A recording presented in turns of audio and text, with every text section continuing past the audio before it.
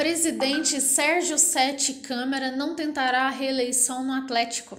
O advogado comunicou a decisão em entrevista coletiva na tarde desta quinta-feira, na sede administrativa do clube, no bairro de Lourdes, região centro-sul de Belo Horizonte.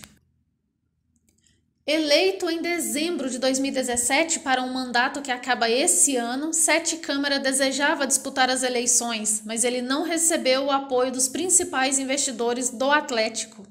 A chapa do grupo da situação provavelmente deve ser formada por Sérgio Batista Coelho e José Murilo Procópio. Mas Sete Câmara não quis oficializar os nomes da dupla que será indicada pelo grupo político para assumir a presidência do clube na eleição do dia 11 de dezembro. Sete Câmara revelou que a decisão aconteceu depois de muita reflexão. Ele, no entanto, acredita que, pelo trabalho feito nos últimos anos, ele teria sim totais condições de ser reeleito na presidência do clube. Mas ele disse também que precisa cuidar da sua vida profissional e também da sua família. E ele ainda concluiu dizendo que vai continuar trabalhando e ajudando de alguma maneira na continuidade do trabalho que ainda tem um longo caminho pela frente para colocar o Clube Atlético Mineiro naquele patamar mais elevado que todos desejam, inclusive ele mesmo.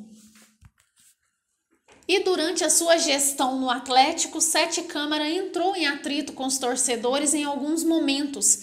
Ele chegou a processar alguns atleticanos por causa de críticas mais pesadas nas redes sociais.